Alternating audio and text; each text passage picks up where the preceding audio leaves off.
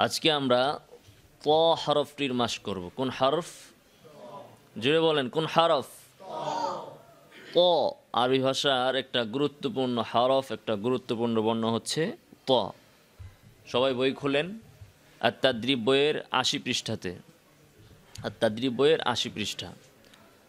তো প্রথমেই আসুন মাখরাজ জেনে নিতে হবে ত হরফটি কোন জায়গা থেকে, কোন স্থান থেকে আদায় হয়।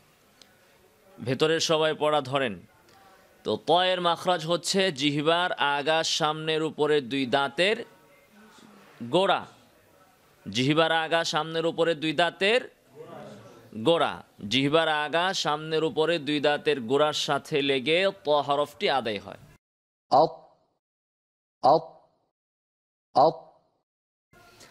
এ হচ্ছে মাখরাজ। মাখরাজ কাকে বলে? উচ্চারণের স্থানকে কি বলে? মাখরাজ বলে। এখন উচ্চারণের স্থান থেকে হরফটি কীভাবে আদায় হবে? আদায় হওয়ার পদ্ধতিটা কি? এটাকে বলে সিফাত। ঠিক আছে? তাহলে ত হরফের মধ্যে কি কি সিফাত পাওয়া যায়? মানে ত হরফটা আদায় করতে গেলে আমাদেরকে কি কি পদ্ধতি অবলম্বন করতে হবে? সেই বিষয়টা এখন আমরা জানব। ত হরফের মধ্যে হামস এবং জাহারের কোনটা পাওয়া যায়? জাহার পাওয়া যায়। তার মানে হচ্ছে বাতাসটা বন্ধ থাকবে। তহরফ উচ্চারণের সময় বাতাস জারি থাকবে না। থ থ এভাবে না। ত এক নাম্বার। দুই নাম্বার হচ্ছে ত হা- সিদ্ধা রখাওয়া তাওয়াসুত। এই তিন হরফের এই তিন সিফাতের ক্ষেত মধ্যে ত হরফে কোনটা পাওয়া যায়? সিদ্ধা পাওয়া যায়। তার মানে আওয়াজ বন্ধ থাকবে। দেখেন, আল ত আওয়াজটা বন্ধ হয়েছে না? আল ত আওয়াজটা বন্ধ হয়েছে। ইস্তিয়াইলা ইস্তিফালের মধ্যে কোনটা পাওয়া যায়? ইস্তিয়াইলা মানে উচ্চারণের সময় জিহবার গোড়া উপরের দিকে থাকবে। আওয়াজের গতিটা উপরের দিকে থাকবে। যেমন প প, আওয়াজের গতি কোন দিকে। উপরের দিকে। প, কোন দিকে? অপর দিকে আমরা তা দেখি তা কোন দিকে? নিচের দিকে। তাহলে প উপরে তা নিচে। প উপরে তা নিচে। তাহলে আমরা কি কি সিফাত পেলাম তহরফের মধ্যে?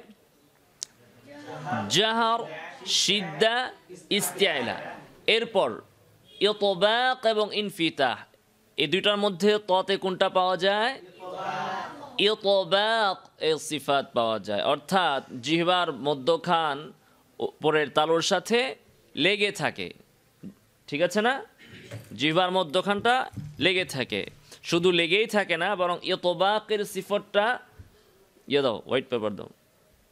ইতবাকের সিফতটা সবচেয়ে বেশি পাওয়া যায় ত হরফের মধ্যে। একেবারে জিহবা পুরাটাই উপরের তালুর সাথে লেগে থাকে। যেমন দেখেন এল প আর নাই এল প এল প পুরোটাই লেগে থাকে।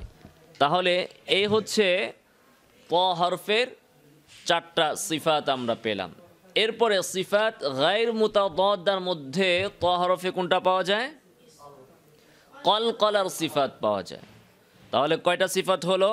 পাঁচটা সিফাত হলো। ইজলা কিসমাত আমরা গণনা করলাম না, কারণ হরফ উচ্চারণের ক্ষেত্রে ইদলাফ ইসমাতের প্রয়োজন তেমন পড়ে না বা দরকার নেই। হরফ উচ্চারণের ক্ষেত্রে তাজবিদের ক্ষেত্রে ইজলা ইসমাতের প্রয়োজন নেই। তাহলে পাঁচটা সিফাত আমরা পেলাম।